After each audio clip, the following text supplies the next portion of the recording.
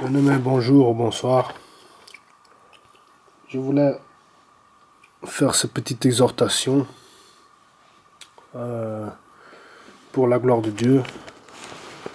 Nous savons que nous sommes dans les temps de la fin. Euh, donc j'ai pas préparé, mais je vais un peu essayer d'improviser. Dieu nous a prévenus de ces moments difficiles. Il nous a dit que les plus difficiles, arriveraient à nous vraiment d'essayer de, nous rapprocher, nous rapprocher de Dieu, nous rapprocher encore plus de Dieu si nous nous sommes déjà approchés, de lui tenir la main fermement, de le serrer, de suivre ses préceptes à la lettre, ne dévier ni à droite ni à gauche, comme, a dit, comme il a dit à Josué, ne t'en détourne ni à droite ni à gauche, médite la parole jour et nuit. Euh, Nous allons prendre Josué. Euh, Josué euh, chapitre 1. Euh, Nous lisons les versets 7, 6 à 8. Je lis pour la gloire de Dieu. Josué chapitre 1, verset 6 à 8. Je lis pour la gloire de Dieu. Fortifie-toi et prends courage, car c'est toi qui mettras ce peuple en possession du pays que j'ai juré à leurs ancêtres de leur donner. Seulement fortifie-toi et bon courage en, te conformant fidèlement toute la loi que Moïse, mon serviteur, t'a prescrite. Ne t'en écarte ni à droite ni à gauche afin de réussir, afin de réussir où que tu ailles. Que ce livre de la loi ne s'éloigne pas de toi, médite-le jour et nuit pour agir avec fidélité, conformément, etc. Dit bien au verset 7. Seulement fortifie-toi et bon courage en te conformant fidèlement à toute la loi que Moïse, mon serviteur, t'a prescrite. Ne t'en écarte ni à droite ni à gauche, afin de réussir que tu. Amen. Donc voilà, c'est à chacun de suivre le Saint-Esprit, se laisser guider par le Saint-Esprit au maximum. Abandonner progressivement les péchés qui nous qui nous lient encore. Euh, lire la parole de Dieu, obéir, vaincre le péché, vaincre le péché hmm, sous toutes ses formes, demander la force à Jésus-Christ, demander à Jésus-Christ avec des simples prières, demandons-lui, Jésus-Christ, donne-moi la force de vaincre ce péché. Je n'y arrive pas par moi-même, j'ai tout essayé, mais toi, avec toi, tout est possible. Donne-moi la force, Jésus-Christ, de vaincre ce péché. Et Jésus-Christ, donne-moi, il va, il va donner la force. Il va donner la force parce qu'il est vivant, parce qu'il est fidèle, parce qu'il a lui-même vaincu le monde. Euh, c'est un moment extraordinaire parce que si nous sommes connectés à Dieu, nous avons la joie du Seigneur. La joie du Seigneur est notre force. C'est écrit dans Néhémie au chapitre 8. Euh, lisons Néhémie.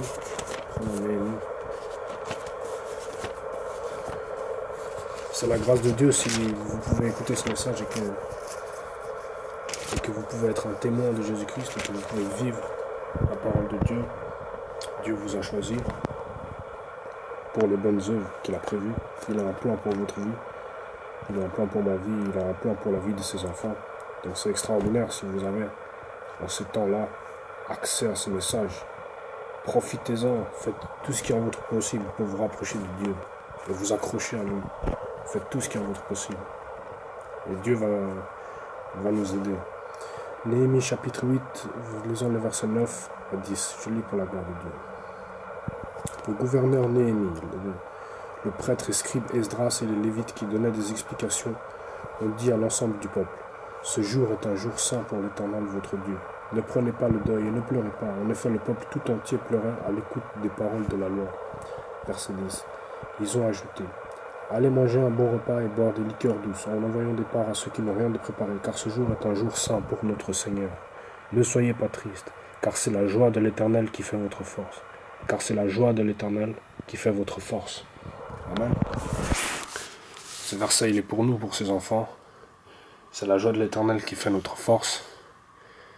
Et l'apôtre Paul dira encore dans Philippiens au chapitre 4, Réjouissez-vous toujours dans le Seigneur, je le répète. Réjouissez-vous. Réjouissez-vous toujours dans le Seigneur. Réjouissez-vous. Réjouissons-nous dans le Seigneur.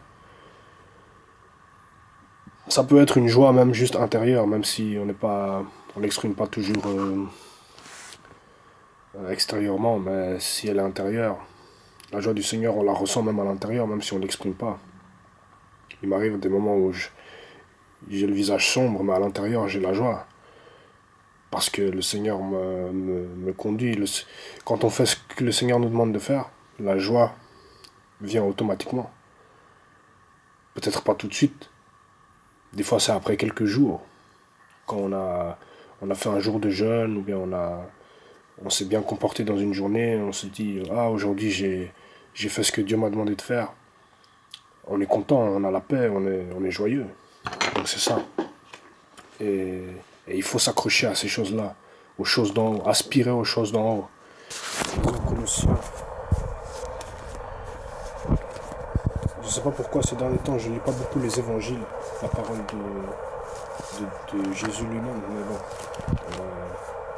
on va essayer de se recentrer à l'avenir pour le moment. Colossiens chapitre 3, euh, le verset 1. Colossiens chapitre 3, le verset 1. La vie nouvelle en Christ. Je lis pour le nom de Dieu. Si donc vous êtes ressuscité avec Christ, recherchez les choses d'en haut où Christ est assis à la droite de Dieu. Je répète une deuxième fois, une seconde fois. Si donc vous êtes ressuscité avec Christ, recherchez les choses d'en haut où Christ est assis à la droite de Dieu. Les choses d'en haut ça que nous devons aspirer. Euh, nous devons persévérer dans la prière, bien sûr. Luc chapitre 18 nous le demande. Persévérer dans la prière euh, avec de l'ordre,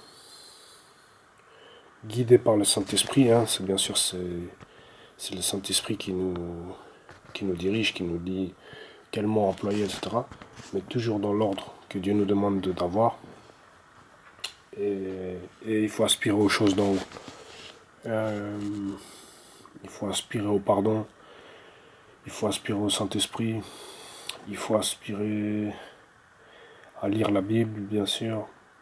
Il faut aspirer à la prière, comme j'ai déjà dit. Il faut prêcher l'évangile, il faut parler de Jésus, il faut...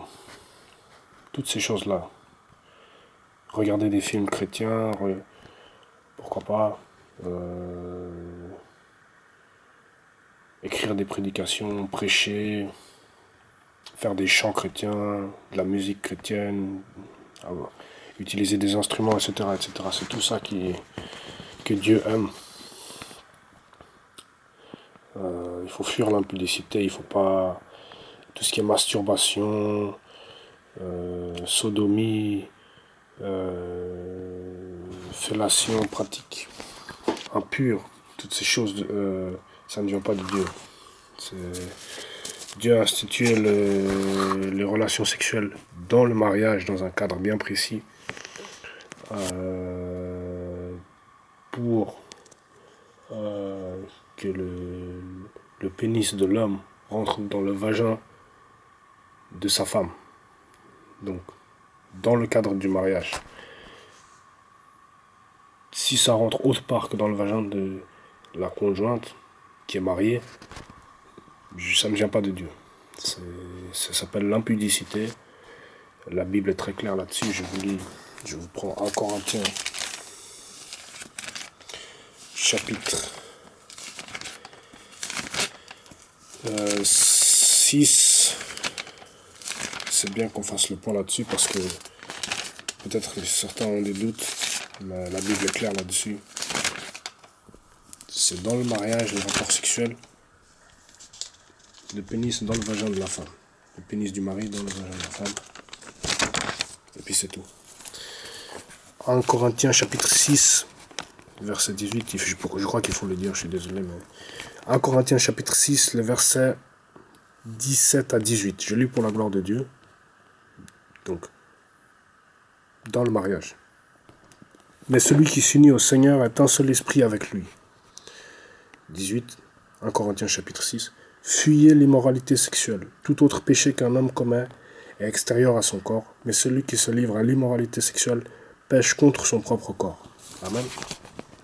Fuyez l'immoralité sexuelle, fuyez, fuyez. Tout autre péché qu'un homme commun est extérieur à son corps, mais celui qui se livre à l'immoralité sexuelle pêche contre son propre corps. Donc euh, repentez-vous, demandez pardon à Dieu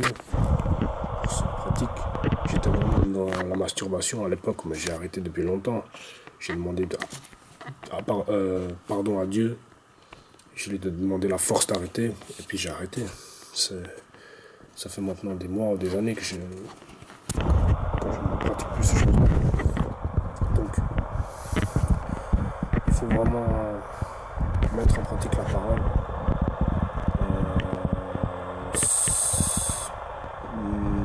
Euh, progressivement, même si vous n'arrivez pas à cesser d'un coup, commencez à faire poser des petits actes, des petits. Si vous faisiez 3 4 fois par jour, ce genre de choses, commencez à diminuer à 2, 1, ensuite arrêter. Progressivement, ça va venir, ça, Dieu va vous donner la force, Dieu. Et,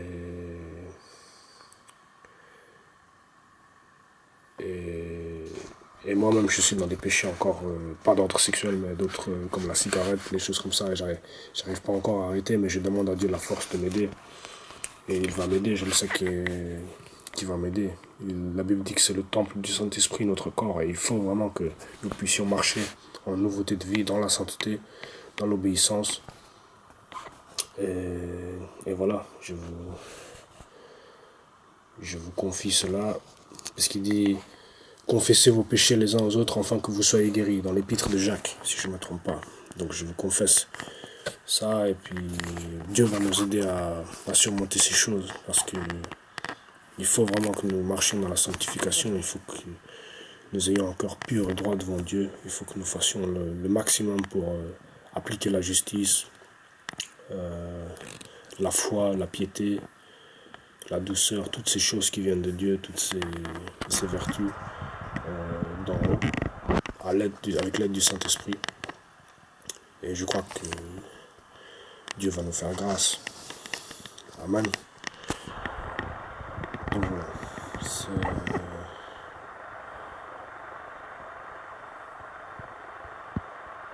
Si on n'arrive pas à se contenir, on avait dit dans 1 Corinthiens chapitre 7, verset 9, euh, si on est seul, célibataire, et qu'on a la force de se maintenir pur, alors c'est parfait. De se maintenir euh, dans la sainteté, se maintenir pur, c'est parfait. C'est très bien, continuer comme ça, tenez ferme avec le Seigneur et il va nous aider. Et mais si on n'arrive pas, en Corinthiens chapitre 7, verset 9, il dit Mais s'ils ne peuvent pas se maîtriser, qu'ils se marient, car il vaut mieux se marier que de brûler de désirs. Amen. Ensuite, verset 10 À ceux qui sont mariés, j'adresse, non pas moi, mais le Seigneur, donc c'est l'apôtre Paul qui écrit cette instruction, que la femme ne se sépare pas de son mari. À ceux qui sont mariés, j'adresse, non pas moi, mais le Seigneur, cette instruction, que la femme ne se sépare pas de son mari. Amen. Donc voilà, la fidélité, c'est très important pour Dieu. Il dit dans l'Ancien Testament, dans Proverbe, je crois, euh, n'abandonne pas l'ami de ta jeunesse. N'abandonne pas l'ami de ta jeunesse. Donc euh, ça va dans les deux sens. N'abandonne pas l'ami de ta jeunesse la fidélité, c'est très important pour Dieu. Au même titre que l'amour. L'amour, c'est le plus important, mais la fidélité, c'est important aussi. Très important. Et je nous encourage à rester fidèles au Seigneur et à nos amis. Parce que Dieu veut nous bénir. Et il va nous bénir pour autant que nous ne nous relâchions pas.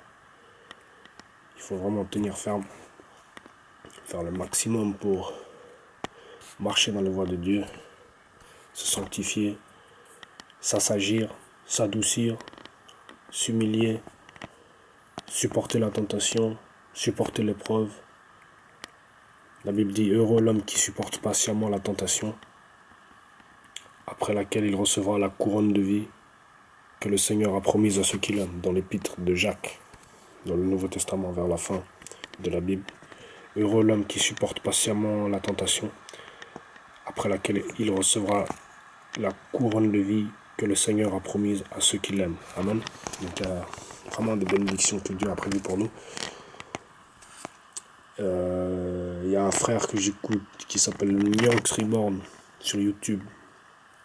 Il disait si vous êtes encore puceau ou vierge, puceau pour les hommes, vierge pour la femme, tenez bon jusqu'au mariage si vous voulez vous marier. Tenez bon jusqu'au mariage parce qu'il y a une grande bénédiction dans le fait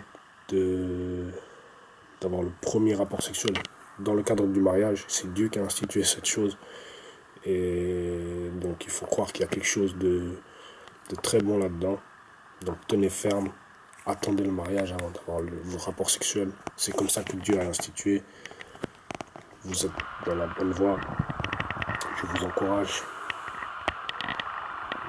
De vrais hommes de Dieu ou de personnes vraiment sincères vous encourageant aussi. Moi, je vous encourage vraiment à tenir. J'avais déjà dit à une soeur qui m'avait fait la confession.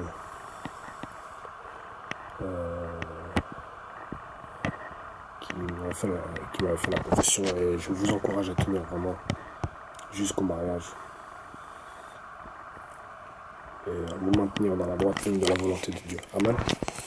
Donc voilà, c'est un peu ça que je voulais partager avec vous. La Bible dit dans Proverbe chapitre 29 au verset 23, Celui qui est humble d'esprit obtient la gloire. Proverbe chapitre 29, verset 23. Celui qui est humble d'esprit obtient la gloire. Amen. La sagesse va de pair avec l'humilité. Vous pouvez lire Proverbe chapitre 11. Euh, la sagesse va de pair avec l'humilité. Si vous êtes humble, alors vous serez sage. Si vous êtes humble, alors vous serez sage. Si vous n'êtes pas humble, vous ne serez pas sage.